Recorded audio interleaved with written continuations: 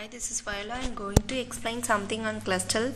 Clustal, which is multiple sequence alignment, it is an essential tool for doing multiple sequence alignment, and you can use progressive approaches to multiple sequence alignment. It involves the sequence of alignment in such a way that you can extract the most similar sequences.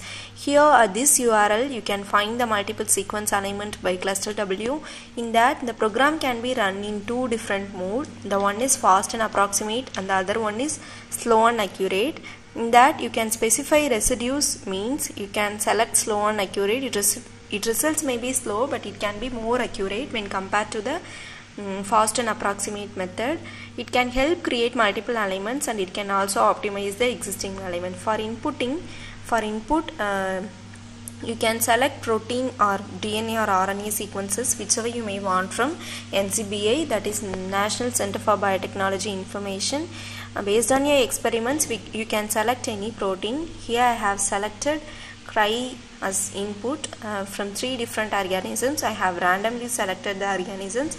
Uh, you, you may select the organisms whichever you may want or you can based on the experiments you can select. The first one is Pisum sativum Sativum in that I have copy. You, or you can down, also download download the sequences from um, FASTA format from NCBI without giving any space you have to copy and paste the sequences in multiple sequence alignment file.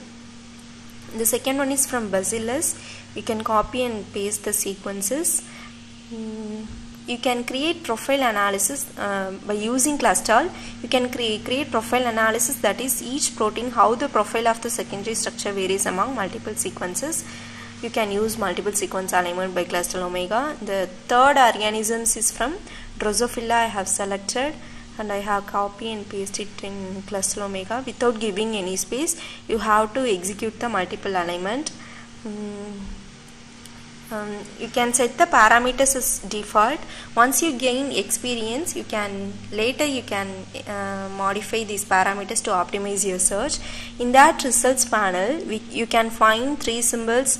One is asterisk which indicates positions which have a single fully conserved residues and a colon indicates conservation between groups of strongly similar properties and the period indicates weakly conservation between groups of strongly similar properties. In that select tree menu Clustal W result you can find different tree menus.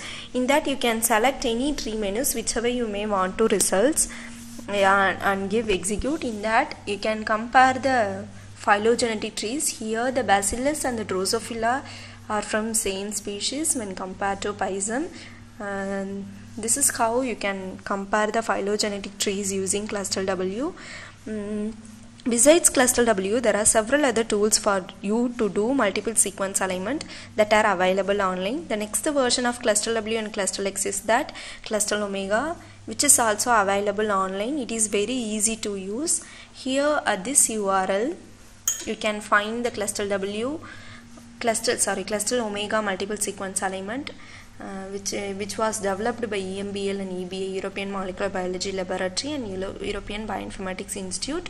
In the input format you can paste uh, paste a set of protein or DNA or mRNA whichever you may want and you can download it from NCBI here I have selected protein. Mm, he, in that I have input my sequences uh, whichever I have given in my Clustal W I have pasted it in FASTA format in Clustal Omega also.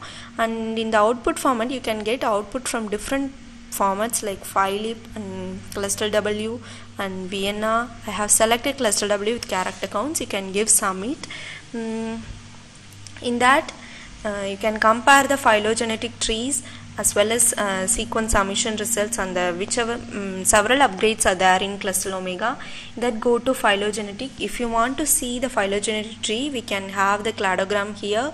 These are these are more similar than the others. That's how we align the multiple sequence alignment. Then if you want to see result summary, you can also see. And this is how the multiple sequence can be aligned and performed using Clustal Omega and Clustal W. Thank you.